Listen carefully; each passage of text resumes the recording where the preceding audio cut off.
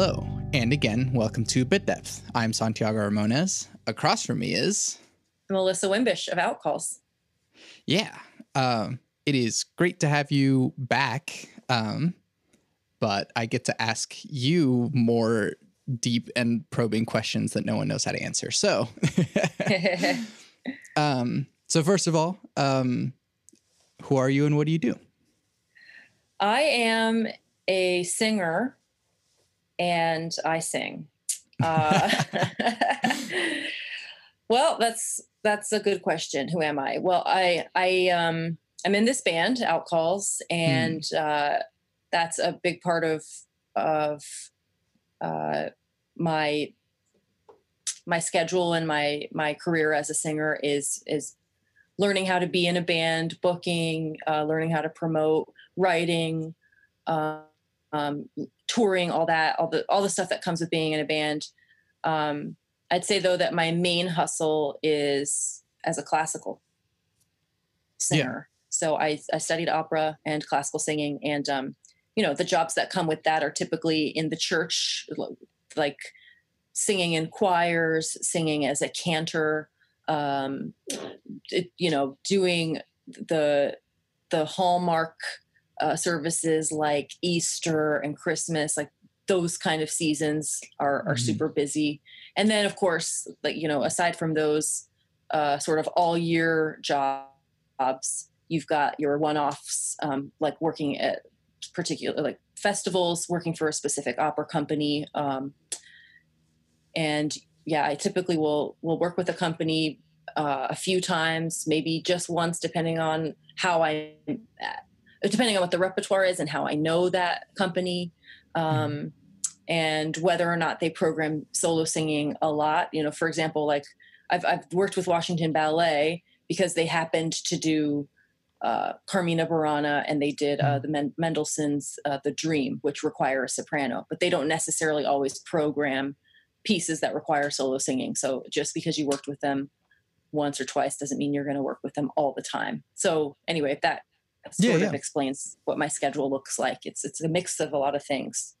That's uh I mean, as far as like I just got out of music school last year and it's like you're doing the exact thing that everyone that is in music school is like oh yes, that is what my life w- will look like. Uh, uh, well, that's, and that's what funny. like they hope for. Well, that's that's cool to hear because I I know in the midst of it, it doesn't sometimes well at least for me it doesn't feel like I'm doing. It doesn't feel like I'm I've really got a career. And when but when I look back on what I've done, you know, it is a career.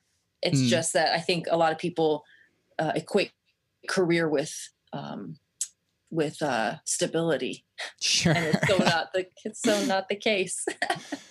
yeah, well, if you're stable, maybe you might get bored or something. Uh, yeah, it's true. It's true. Do you do any session work, like studio I, stuff? Not re- not a lot. Uh, you know, of course, with Outcalls. Sure. But um, but no, I didn't. I didn't um, really start recording until I began working with Outcalls. So I don't; those aren't. That's just not my my my my contacts aren't really mm-hmm. in that world. Although I would, and now that's changing, mm-hmm. and um, I would like to do more work like that. And I say that without really knowing exactly what session work looks like for for singers. I can imagine, um, but you know, just like anything. Uh, that's in the realm of the industry that you're not 100% dialed into, I'm sure that if I got to observe more session work, I'd be like, oh, yeah, okay. I think I could figure out how to do that. Mm-hmm. Um, so it's it's definitely something that interests yeah. me. But um, but no, not not um. Haven't have you? Have you done a bunch of session work?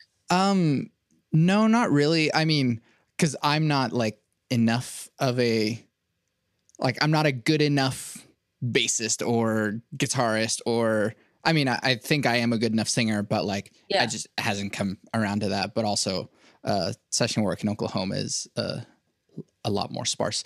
Uh, yeah. it's really interesting though when you talk. Uh, our the bass player that we worked with on our uh, No King EP, actually, all of our latest singles we've released too. Kevin has played, but he is legit, and it's so funny because when we met him, we knew he was awesome. But you don't. He's he's not the kind of guy who is gonna, you know, name drop. But so, sure. but as we've gotten to know him, you know, we'll we'll say, oh, whatever, we'll be shooting the shit about something, and he'll say, oh yeah, yeah, Charlie Puth, I, I played on that one song, and you're wow. like, what? And it's mm-hmm. amazing because he, the way he talks about the session work that he's done, it's like, oh yeah, there's it, it's there's like this database, and they, you know, you go and you see what work is available, or sometimes they'll reach out to you, and you just, you know, if you have a home studio, you just kind of pluck it out and and then send it in, and it's amazing how in my head I had it, I have it like as this. You go in the studio, you meet Michael Jackson, you shake his hand, and then you like sit down and you guys play and you have a couple of joints and what. It's totally not right like that it's it's definitely a little bit more corporate systematic yeah. experience of like you sign up for a thing and then you play it and then make sure it's in the right format and all that nonsense right but it's still got a slap though which is amazing right. you can do that without having that in studio experience sure. all the time yeah. yeah um let's go to the beginning how how did you get started in music i always wanted to sing people ask me a, a lot like, hey, what, what who is your who kind of inspired you. And mm. um, I just remember, I, I don't have a faith necessarily like believing in past lives or anything, but if if I were to find out in the past life that I that I was a musician, I wouldn't be surprised because mm-hmm. I just always wanted to do it. And there was nobody in my family that I knew of um, who was musical. I mean, of course, my grandmother, when she did laundry, she would sing and whatever, like little things around the house. Right. Um, but it wasn't a a, a, it wasn't something that I had that I had around me. Um, mm-hmm. My dad really wanted me to have uh, piano lessons. He was in the military, so I I was my first um, like my formative years up until about third or fourth grade. I was living with various family while he was overseas because I was separated from my mother um, at a young age. That's a whole other story. But anyway, I, sh- I was I was around my grandparents, aunts, and uncles, kind of going from house to house. But one of the things he really wanted to happen was for me to get piano lessons. So that happened. I ne- it never stuck. It would be like you know I'd go for a couple of months, and I don't know maybe the money would run out or what, whatever. I, I don't really know exactly, but I know it wasn't consistent. But I guess it was enough for me to develop some sort of appreciation or some ear. Um, but the singing was always like something I wanted to do, but I think I kept it a secret for a really long time because there wasn't anybody I could really talk to in my family about it. So um, I I uh, I, I have these memories of whatever situation I was in at school. I would find a way to have an audience and I would sing to them. I would sing whatever Disney song was popping at the time, or, you know, I remember singing Like a Prayer by Madonna a couple of times, like a cappella. Eh, just whatever, like sure. singing for whoever I could, probably against their will at a playground somewhere. Um, and then in uh, when it was time to like pick your band instrument, I I picked saxophone. Um, I don't know why I didn't go to, into choir or anything like that. I guess I was still just too shy.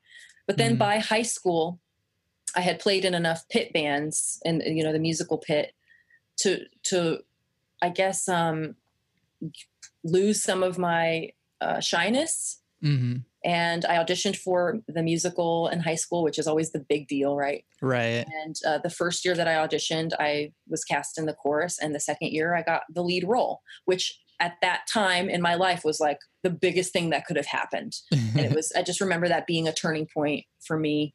Um, of course, coupled with with the voice teacher that I met in high school, who was giving free voice lessons, and I waltzed in one day and said, "Hey, I heard you're giving free lessons. Let's see, let's let's see what you got." yeah. Um, so a combination of those things, just having having a great teacher, having this um this innate sort of like Need. rabid feeling. Yeah, I just yeah. had to sing. Just always had to. And I'm lucky that I that I had the right teachers that uh, that built my voice because I grew up in Kansas and there wasn't a lot of choice there you know, you didn't, you know what I'm saying? Like you didn't, mm-hmm. it's not like, oh, I'm going to study with this teacher. That there was one teacher, and mm. uh, I, I was just lucky that she was a great teacher. Yeah. What was that lead role, if I may ask? It was Polly in Crazy for You. Mm. Yeah, a bunch of Gershwin. It was really fun. nice. Um, so I guess one of the things I do kind of ask musicians is like, how did you decide it was what you wanted to do? But then for you, since it is more just like you were always in that trajectory, how I guess since it was kind of a secret for you, Mhm. how did that sort of manifest as you are leaving high school and Yeah, that's a good question. I remember wanting to study theater and not, I mean, I wanted to sing, but when it was time to make the decision of what you're going to major in, I wanted to major in theater. And somehow that morphed into musical theater. So mm-hmm. when I when I auditioned and applied for schools, I would audition for the musical theater program, but by kind of default, you were still considered for the classical program because a lot, lot of the, these were the, at least the schools that I applied to, which were I can't even remember that weren't they weren't a lot. I knew I wanted to go to Colorado because my boyfriend at the time was in Colorado, so that was yeah, really awesome decision making on my part. based your school on where your boyfriend is, but whatever, it all worked out. anyway, I ended up auditioning for these places and wanting to be in the musical theater program, but was denied for every musical theater program and accepted for the classical program. So I was like, fine, fuck it. I'll sing opera for a year and then I'll get better and I'll do musical theater. But then it ended up, you know, the opposite. I fell in love with, right. with the style and, um, you know, building my voice in that way was Yeah. was really, and of course I, I made friends and I learned more about what what the art form was and what it, it it encompassed. And I loved singing in choirs. I remember really, um, you know, be, becoming obsessed with choir and being Mhm. being such a nerd about that. And like, then of course there was like a jazz ensemble. I just wanted to sing everything. Uh, Mhm. So yeah, I got, I guess I got, I got hooked after, after have kind of being forced into the opera community.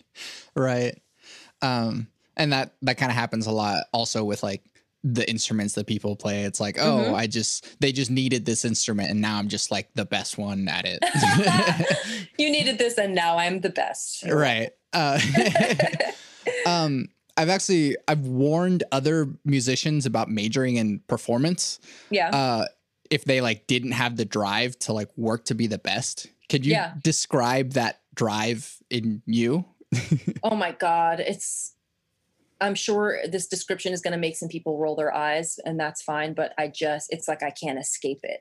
I can't Mm. not do it. And i'm good you know like you know when you're good and you're not good like it, if there's some things where i'm like okay i'm not i'm not going to be good at that and i'm not going to do the work to get good at that and that's okay. For me singing has been like i'm going to fucking do this. I love this so much. And then you know of course now when we're all so many of us artists can't do what we do the way we were doing it before the way that my that i'm that i am because of the fact that i can't really do what i've been doing is i can tell like that i ca- you know you you sit down and kind of think okay what, what can I, what else can i do? I mean i have to decide to do something else probably like what if what if performing isn't possible for another couple of years? Am i just going to sit and do a shitload of push-ups and read books or am i going to try to do something else whatever that something else is? And my something else is going to have to be as close to singing and performing as i can get.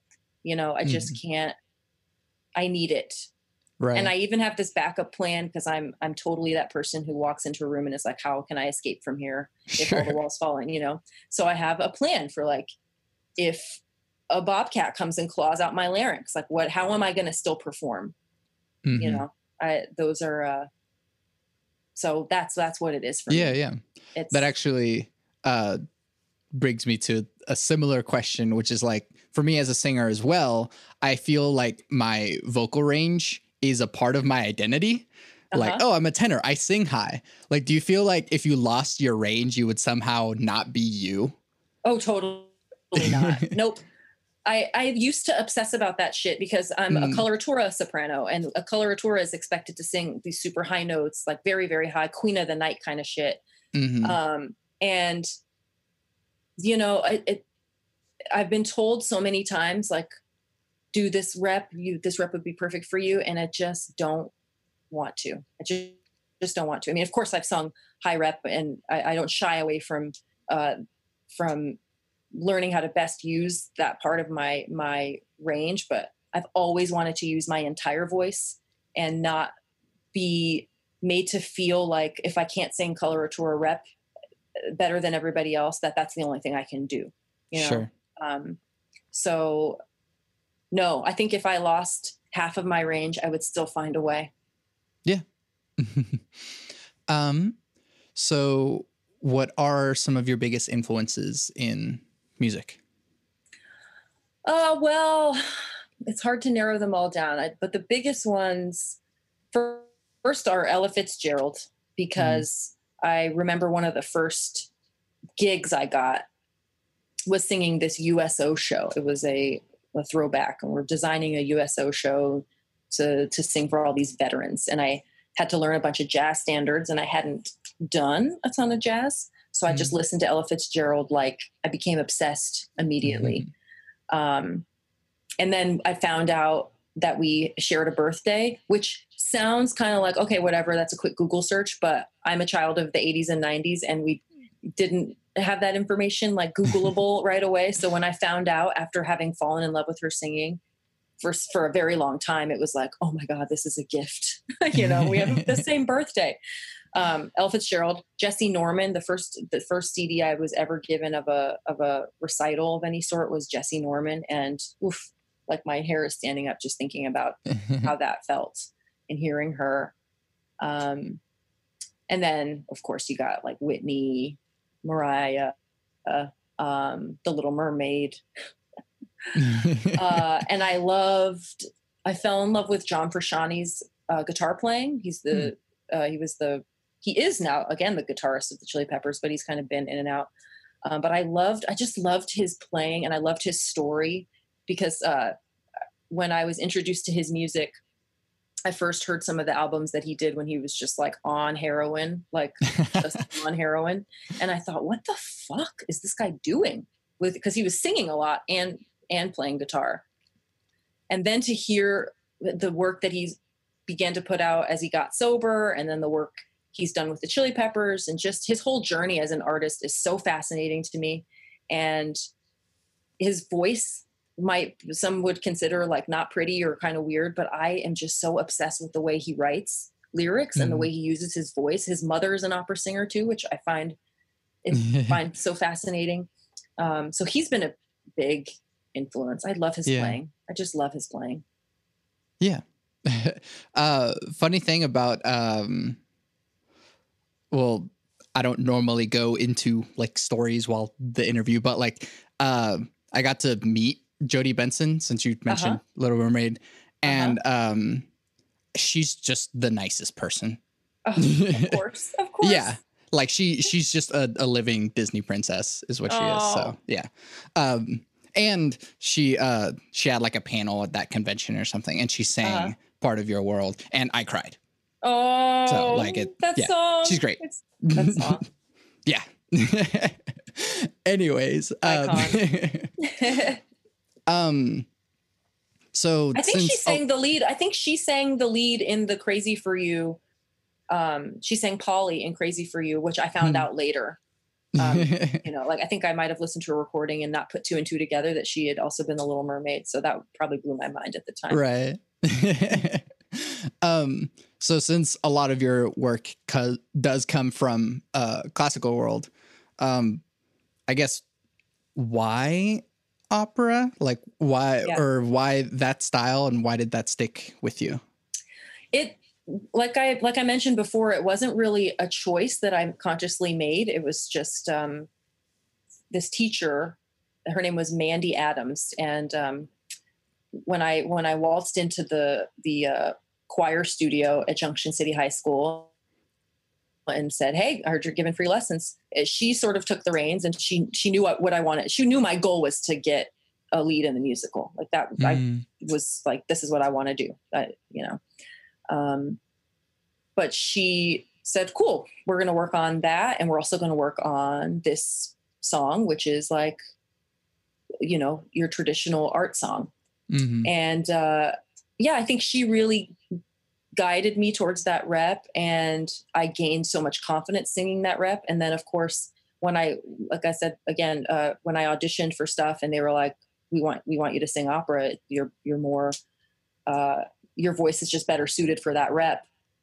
Of course like i didn't want to do it but hearing that you're good at something of course i mean come on Yeah. we're, we're all humans with egos. We're like cool i'm going to do more of that and see where that goes. So i just eventually started to understand why uh why i was he- getting that feedback. Because it was easier. It was it's not that it's easier to sing that way but it was easier for my instrument to do that Mhm. stuff. It like felt natural. And um yeah and then whatever you just continue to get feedback you continue to learn more and you become fascinated. And that's Mhm. that's what i i think i've used the word fascinated 25 times but I just I just became really obsessed with getting Mhm. very good, and there were so many great singers around me, uh, and uh, yeah, I think I was just in such a great environment to to become obsessed with with it, and and um, you know, it's like uh, if if people want to learn how to move their bodies or dance, you, I mean, you probably start with some basic like ballet, yeah. right? So it's like, I, I think I looked at opera that way, or I know I did. Like, I've got to learn how to sing in the best possible way, in the most efficient way, and then it will translate to anything else I want to do. And it Yeah. has, and it has. Cool. Um, I guess a little bit of a like technical question. Uh, do women have falsetto? I think, I think the answer to that is yes. We just we just call it our head voice. hmm I think the word falsetto comes from the word false, right? Like Mhm. so men or I don't know if that's the correct thing to say. People, uh, male voices uh, Mhm. that are, I guess, te- they tend to be lower voices and in a male body. hmm Uh, they it, they have to access that that register of their voice in a way that doesn't necessarily feel uh, it doesn't feel natural or It's not like, full.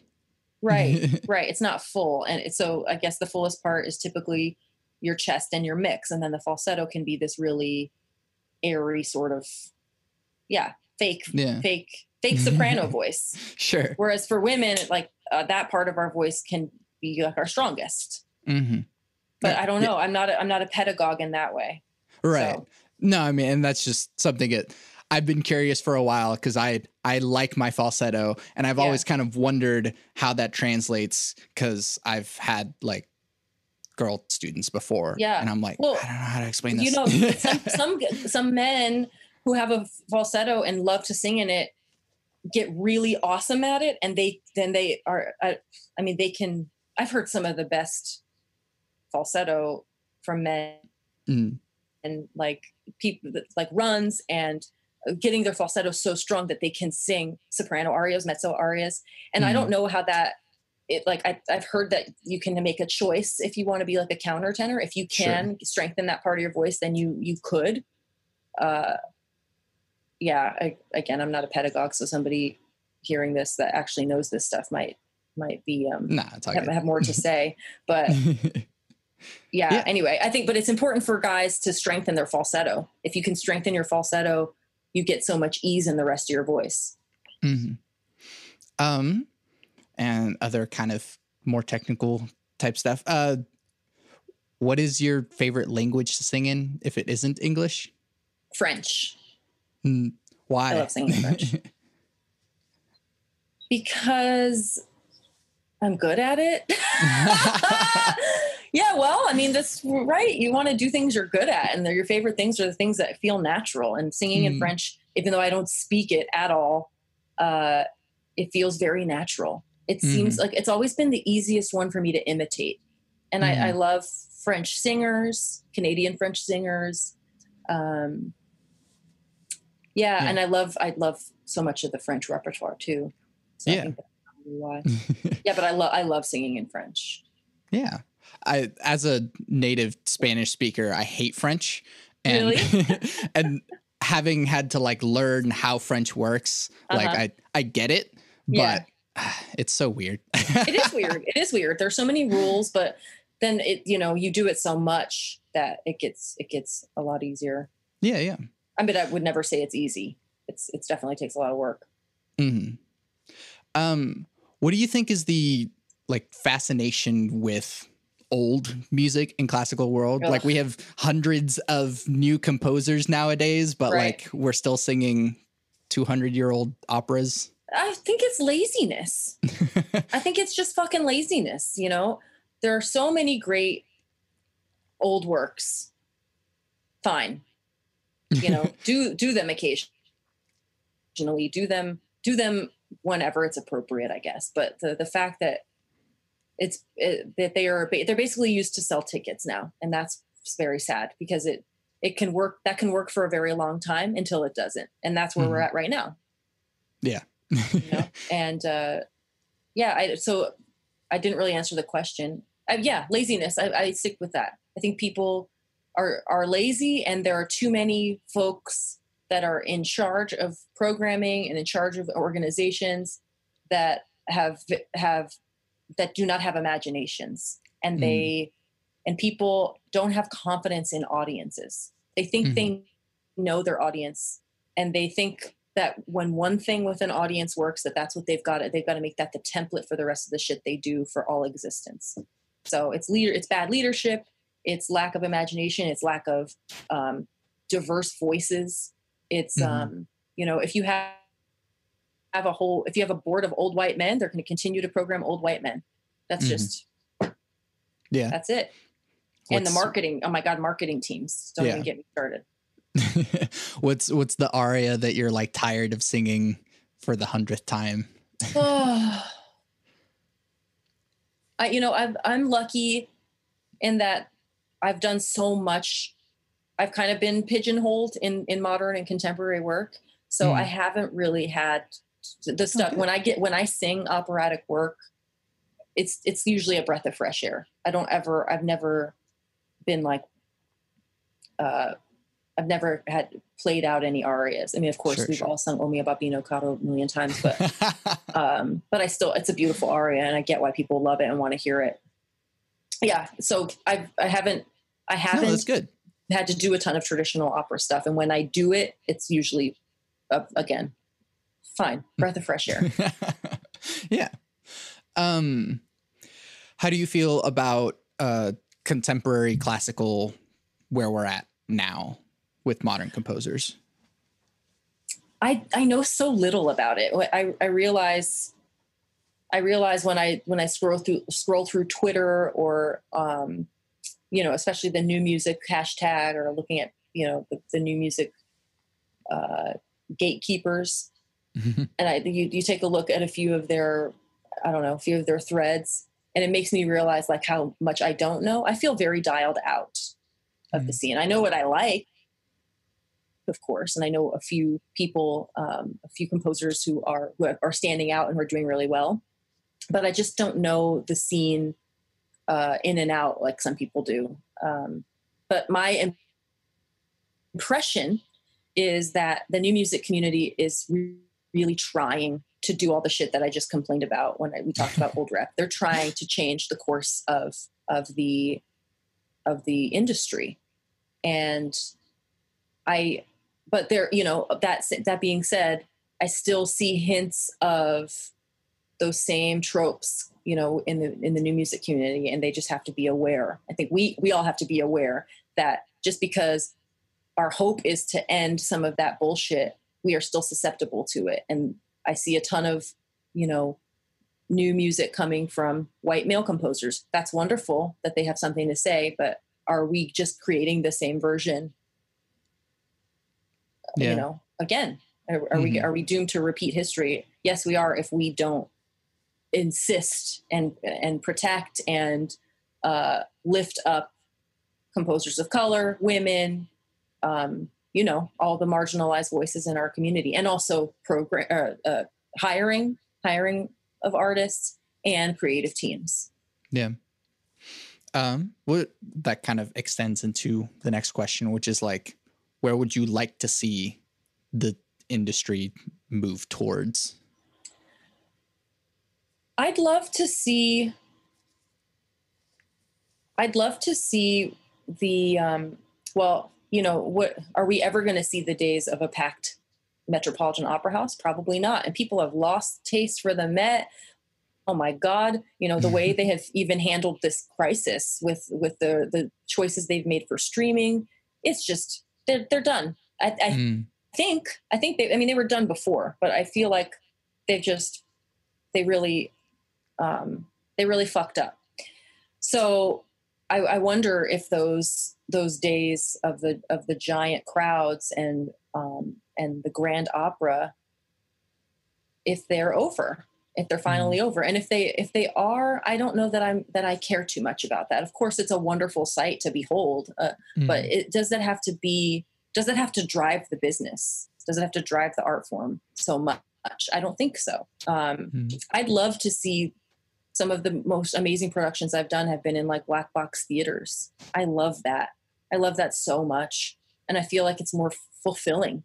Yeah. Um, I feel so much more uh, connected to the audience, connected to the stories that are being told. Um, yeah, I'd, I'd love to see more of that. Things like the Prototype Festival. Mm-hmm. Um, of course, I'm only naming the things that I know of. I know there are dozens more things out there. Sure. Um, yeah. Um, and then how does technology impact the work that you're doing? Huh. Well, I guess it will become more and more a thing I have to at least develop language um, mm-hmm. about. Uh, right now, I don't. I feel. I, I totally feel behind. Like going in the studio, I've learned a ton. Have how to communicate with engineers, and so I'm thankful for that. I I, I know I have some knowledge, but for, you know, for example, Britt and I were asked to do a live stream with a with a company that I think is legit. I mean, they're gonna they're gonna market the performance. They're gonna they're gonna promote everything, and uh, they're gonna provide us with some tools. They're not just saying, "Hey, make us a video and send it in." You know, we're gonna have mm. we're gonna we're gonna have help. Um, but I feel like that expectation for people to show, like they they're going to have to have the resources to show what they can do without anybody, without any like production company or without a theater, and um, it's intimidating to think about that. Yeah. I don't know if I answered the question. No, yeah, yeah. I mean, so te- technology is becoming more and more a part of how we're gonna, as artists, that we're gonna survive this. I mm-hmm. guess. Yeah. Um, what's something that people don't normally know about you?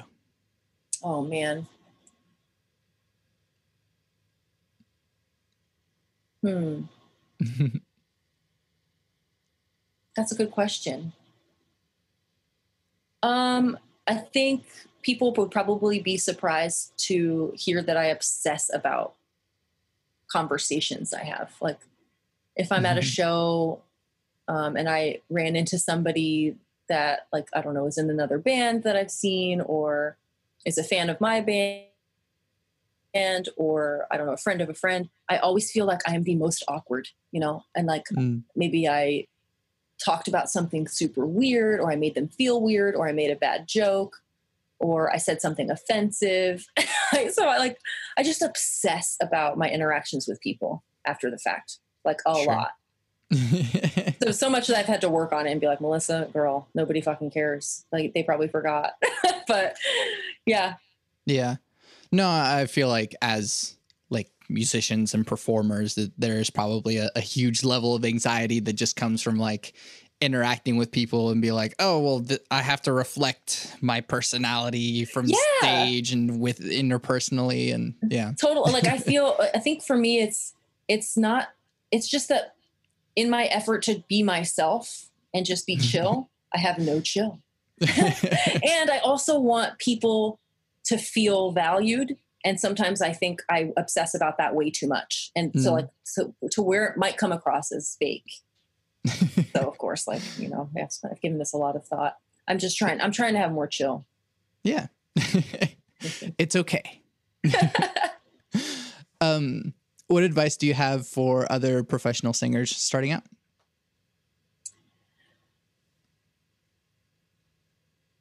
Hmm. Keep going. Keep going. Keep getting better. Try not to give a fuck. be kind. Be gracious. Guard your time. Yeah. Get sleep. Eat well. Take care of yourself. Definitely. have, and just have good people around you. Mm. Just really that's and that's hard work. It's really hard work. Yeah. Uh, switching gears, and there's no way to transition to it. Uh, what is the role of spirituality or religion in your life? Well, I have to be around a lot of it because I, as a singer, you know, you've got to be, if you want to work Mhm. consistently, you've got to sing for the church. Mm-hmm. So um, it's funny. I grew up trying so hard to believe in Jesus. Like, I have a, a really embarrassing story too, which is um, I, well, it's embarrassing for me. Maybe maybe people who are like uber Jesus will think it's wonderful. But I, I was in this thing called girl State. Have you ever heard of this thing where it's Mhm. it happens in high school? I think where you you go to you basically go play government with a bunch of people. It's like a camp, but it's government. And for me, it was all girls, and it was at Kansas State University. And uh, yeah, we stayed. I think we stayed in the dorms. But yeah, we would we like we basically voted in Congress people, senators, whatever. Anyway, I was assigned or I was voted to be the a journalist or something, and I had to report the news. Uh, this is all kind of slowly coming back to me because I probably blocked it out uh, with embarrassment. but I remember I had the mic at some event uh, that, that was part of the camp, and there were hundreds of girls in the audience, and somebody had died in a fire the night before. I don't remember who, but it might have been somebody that connected with the the organization. Anyway, everybody was sad about it, and I remember getting on the mic and being like, "Fucking come to Jesus." Jesus will save you. Like this is now. Now is the time. You know, when things like this happen, we've got to we've got to look to Jesus. And I look back on that. If I had, if I could get in a time machine and take back one thing of my life, it would be that fucking thing. Because I can't. Because like, no. I mean, wonderful if you believe in Jesus. Great. I am fascinated with Jesus. Like, I love Mhm. watching shit like the Ten Commandments and Ben Hur, and of course, like I hear the readings all the time, and there's totally stuff you can learn from it, from it, the Bible. Uh, but I don't know. I, I think I spent I spent so much time trying to believe in God and in Jesus, and uh, I just don't. But what I will say is the music is popping. I love the intent, and I think people who have religion and um, and spirituality in their life are better for it. And I could, I if I can find a way to take some of those elements in my life that I can believe in, I'm going to continue to try to work on that stuff. yeah. Um, yeah, that's how I feel about that. uh, running sound for a church, I, I I feel the same thing too. Like I can't turn the voice off in my head. That's just Uh-huh. like, ugh, I know. you know. Well, because I, you know, I and I sing. I'm a cantor at a Catholic church, Mhm. and so of course, like with all of the abuse in the church and the cover-ups and all that stuff. I mean, I remember going to uh, sing on a Sunday after the news had broken. Uh, the, the the news out of Philly, you know that big Mhm. scandal, yeah, yeah. and just being like, and I remember the person who preached that day was like, "Oh God, it just complicit," you know. Um, Mhm. And I felt like the sermon was it was like an attack on the congregation. Like, oh yeah, this shit is really wrong that happened, but you know, don't lose faith in God. If any of you guys are losing faith in God, fuck you.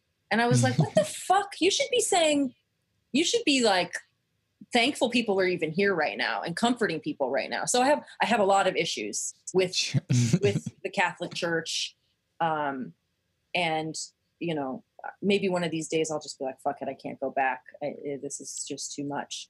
Uh, but again, it all it all is rooted in something good. I do think people are trying to do something good. So we'll see. And I need that check, you know. right. Yeah. uh, definitely. Um, so with with that, uh, what is your definition of God? Ooh, that the feeling of not knowing when the fuck things started. Like when you try to think back as far as you can and then your stomach does that thing where it like turns on itself. Yeah. that. Yeah. my grandmother used to say my grandmother used to say god's so deep you can't go under him. He's so wide you can't go around him. And so tall you can't go over him. And i was like girl you got to find some new pronouns for god. But other than that i think it's a solid Yeah. Thing That that also sounds like a really good yo mama joke. it does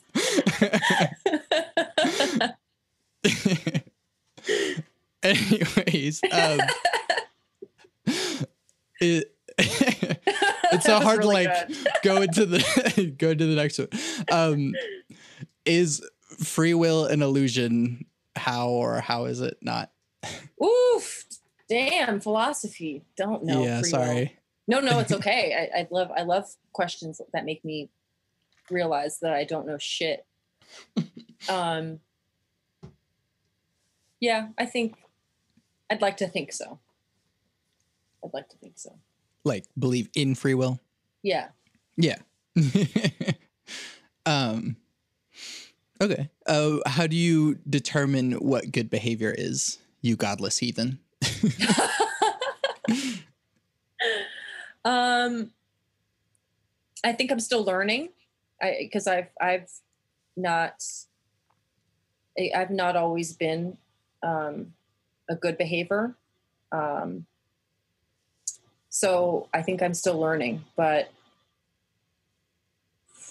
I, I probably would would say it's a, more of a feeling and and and and also learning, you know, learning from from books, learning from people, learning from conversations, uh, learning from people who don't look like you.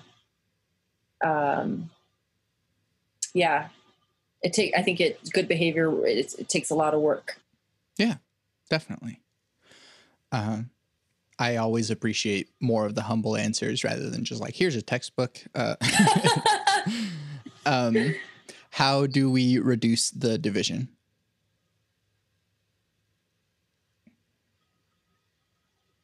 uh, reduce our egos. Hmm. Yeah. I think. Um, and then how do you live with or against the selfishness that pervades American culture? Mm, Speaking of egos. I yeah, I tr- I just try to I try so hard to know when I'm being judgy.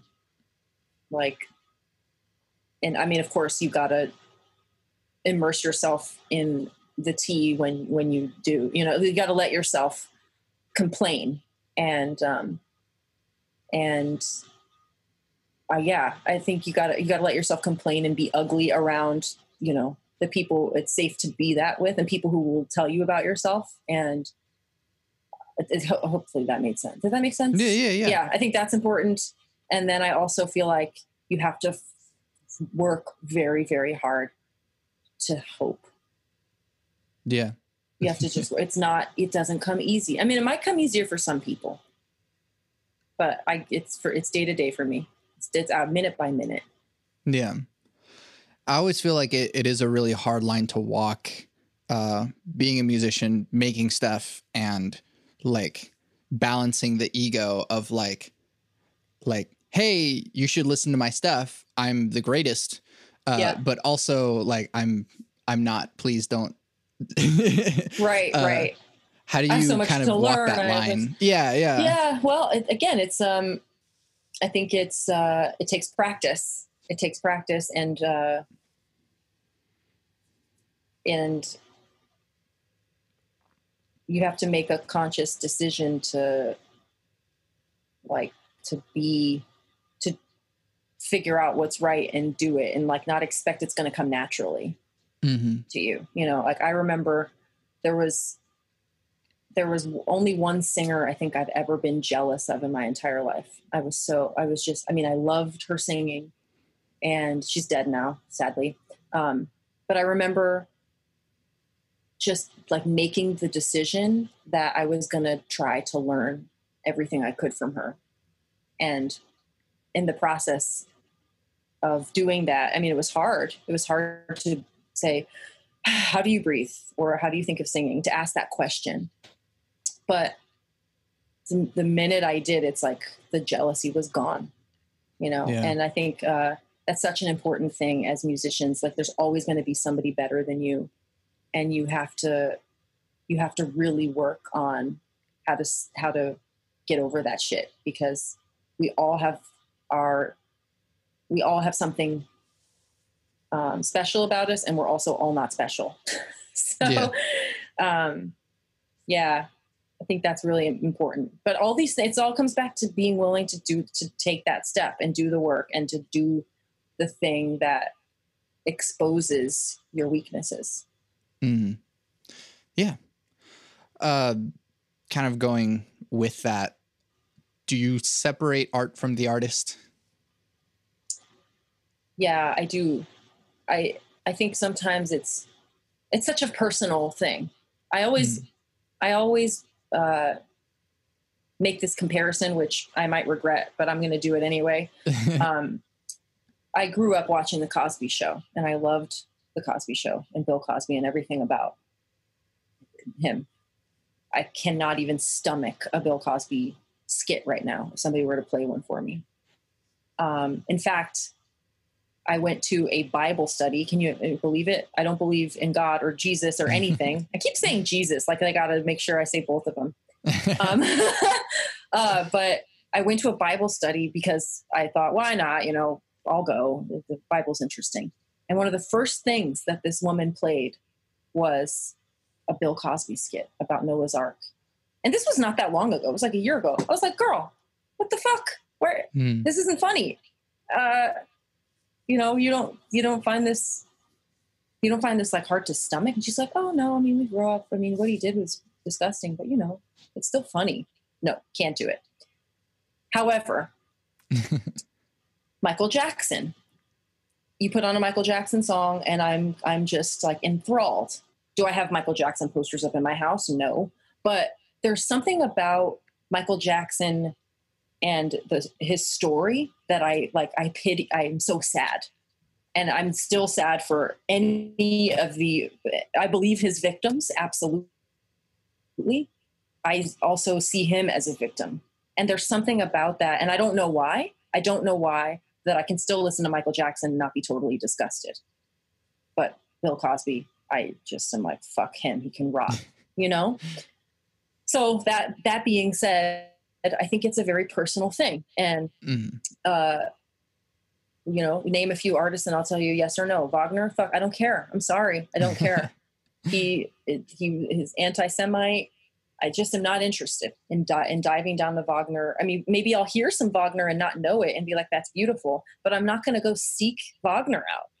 You Yeah. know, Also, it's like nobody needs a like twelve hour long oh, thing anyway. So No, it's, not fine. anymore. We got we got we got Netflix now, son. we don't got need more important things we to don't do. need your 12 hour opera. we got Lord of the Rings too. We can just watch the extended version. yeah, I actually watched that recently with my wife. Yeah, so. I was just talking about it yesterday with my with with Britt and uh, saying like, oh, I just love it. It's such a comfort movie. Yeah.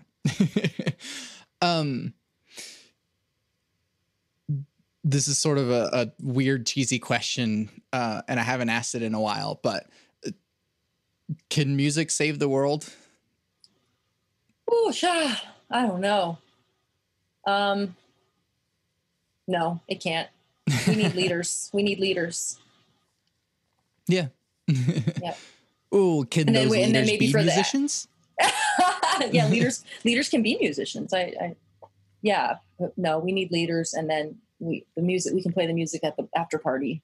sure But no, I I I, I know maybe if it was a smaller world, Mm, but it's just yeah, we got to think bigger. I think. yeah I just watched Arrival yesterday, so that's probably a terrible time to ask that question. Have you seen that movie? yeah yeah yeah. Um. Well, I guess speaking of, I don't know the future. Uh, what are you optimistic about for our future?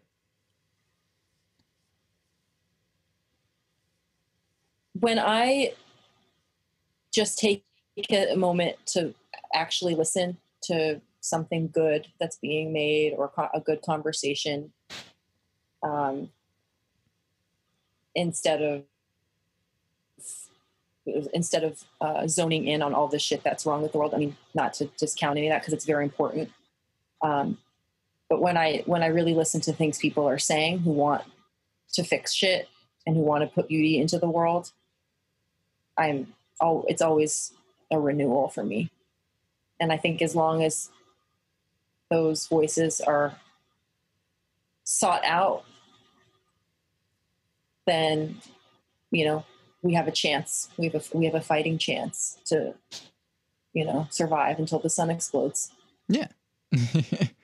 well, we'll see if we get that far. Uh, right. uh, do you believe humans are evil by nature? No. No. More of a blank slate sort of thing, or good? Do you believe humans are good? hmm. I'd, I'd be interested to read more about that from like a, a chemical perspective because I know there are things that happen with people, you know, or I don't know, but you know, we hear that you know some people are more prone to behaving in this manner because of whatever chemical thing in their brain or who knows. Um, mm. But in my, in my experience, I, I I would say like if I was talking to an extraterrestrial about humans, I would say that I think they want to be good. Yeah. they want to um, survive. I mean, survival, right? Yeah, yeah. Yeah. and hopefully we can design an environment to where good behavior causes survival. Yeah. Uh, and I think what, well, yeah. And what is good, what is good behavior compared to survival? I, I guess it's, I mean, the, you're, you're inspired, you're affected by what's around you. Mm-hmm. And I guess the more good that's around, or what, you know, the yeah. more produ- productivity and yeah, trying to better the world that's around you, the more it becomes part of your society. Exactly. Um, what makes you content? Oh God, I wish I knew. um, you know, I uh, the being outside especially the the ocean. Even though I'm terrified of like crashing into the ocean, going too far out into the ocean, anything that's in the ocean. I don't want anything to do with any of that. But I love being there. I love being there, and I feel like if I was going to die somewhere, I'd want it to be like standing on the beach and then just the just giant tidal wave comes and destroys everything. Not, uh, you know, that's kind of insensitive to say, because I, I, don't mean it like that in like this romantic way because um, I know it's terrifying, but there's something about the the being by the water that really calms me. It just feels it feels like um, very natural. Yeah. um, when will you be satisfied? Probably when I'm dying. but um yeah. I don't know. I don't i don't know if i can answer that. I have no idea. I hope it's soon. Hope it's sure. soon. um all right. I have like three more questions. Cool. uh it seems like an attack but i just think it's a funny question to ask. What's the point? Yeah well of you do you mean like of everything or just of being yeah musician? probably in general. Okay. Um it depends i guess. Like for me the point is is uh existing. Like i i just can't i think my i blame my father because my father is like he can't sit his ass down he's, he's retired and he got a part-time job because like that's retirement to him is a part-time job where he gets mm. up at like 3.30 in the morning and goes and he works at a golf course and and then he comes home and does more housework and he's just he's going all the time yeah and uh but I, I guess i've seen what happens when he doesn't do that because he he was injured Um, but by being up in a fucking tree with the chainsaw and he wasn't harnessed in and he got really like badly injured. He's fine now, but I saw I like got a glimpse of what he was like during that time and it was like, whoa, you I think like you'll you'll you'll die if you don't like get back to doing something soon. Yeah. So I think I'm just one of those people. I'm that's one of the, one of, one of those people who's got to do stuff, and I've got to do this very specific thing. hmm Um, Yeah. Yeah. um, what advice do you have for people in general? think about space more. Hmm. Every time I think about space, I am like, yeah, I just am like, fuck it, don't worry about anything. That's actually really good. That's yeah. Can you elaborate a little bit more? Because I don't know like, if what, I can. How does I that? Think it, it becomes less profound the more I elaborate. but you know, it's like what it's kind of the opposite of what I was talking about before. If you think back all the way to the beginning and that feeling Mhm. of God just being like whatever your stomach does, hmm it's like could now do the opposite. And you know, you got, we watched fucking the planets or whatever the hell, or it was cosmos, and you're like, holy shit, that's how big the Milky Way is. Yeah. What the fuck? Yeah. Why am I worried about my student loans? Yeah. Exactly. you know, I mean, yeah, of course we are worried, and there's much shit to worry about here on Earth, and it's fucked up. Uh, the injustices that are just uh, ingrained into our into our society, but then at the same time, it all really doesn't mean that much. Mm, So, I think it's important to deal with the world we're in, of course, but Yeah. every once in a while, when it becomes so overwhelming that it, it is like crippling, you've got to have a way out. And for me, that sometimes that way out is like thinking about space. yeah. Definitely. I like that a lot. Uh, last one: cake or pie? Ooh, well, is does quiche count as pie? Um. See, this is the kind of person I am. You ask me what, what would you rather, and I'm going to find a way. Sure. Yeah. Yeah. well, I, I've. This is the final question in the podcast, so I've talked about this a lot.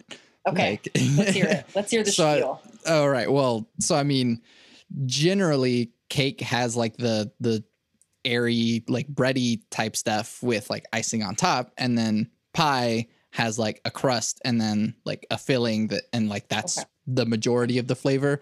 So Yeah. like, Pie, uh, cake, cake, definitely. yeah, Cake, definitely. Pie, you know, here I can't handle cooked fruit, and pie is normally cooked fruit. hmm. Just can't can't handle it. It's too mushy. Sure. Too mushy. Yeah, I appreciate that. uh, what is best cake then? Oh, definitely like chocolate. Devil's food. Chocolate, Mm. chocolate. Yeah. Beautiful. Or or or like the yellow cake with chocolate icing. That's Mhm. also delicious. Yeah. Yeah, I think actually I'm gonna I'm gonna say yellow cake with, this- with chocolate icing. Sweet, yeah. uh, Melissa, thank you for doing this with me. Thank you. it was it was really nice to to talk one on one. Yeah. Um, where can we find you and your stuff and all the outcall stuff and all the everything? Outcallsband.com for everything outcalls related. There's links to our music. Um, and then I've got my personal website, melissawimbish.com, which has links to nothing because nothing is happening. But you'll see some great pictures that Britt took and some of my past work. And hopefully there'll be upcoming things at some point in the future. Yeah, definitely. Um, and and not to you, but to whoever's listening is, is like listen to outcalls. They're really good. Oh, yeah. really good. It's banging. so I mean, yeah, all of your favorite artists were once local artists. So yeah, do it. absolutely. Absolutely. um, well, yeah. Uh, thank you so much. I'm Santiago Thank you, Ramones. Santiago. It's really nice to be here. um, and then, well, I guess I'm Santiago Ramones. You say your name. I'm Melissa Wimbish. You can find everything that I do on my website, santiagoramones.com. I have an album that is now out. It is called Bloom. It is streaming everywhere, or you can buy it on Bandcamp for $10 and get that tasty bonus track. So put on that album in the background whenever you're working out or you're at work and you need something in the background just to give you a little bit of motivation, whatever works for you. I also make music with Power Cycle. We have an album that is out that is also streaming everywhere. It is called Too Many Damn Cables. The entire album is improvised. We also have another EP coming out soon and a full album that will be coming out. So stay tuned for that. More Power Cycle stuff, even though we're not even in the same state right now. You can support this podcast by leaving comments and reviews and engaging and telling your friends about it. Let me know what you think about the people that I've had on lately and if you liked our conversations. And stay tuned for even more exciting conversations that I'll be having with people in the future. I always end the podcast with my three things. They shape my life philosophy. Those three things are love never fails, it's going to be okay, I might be wrong.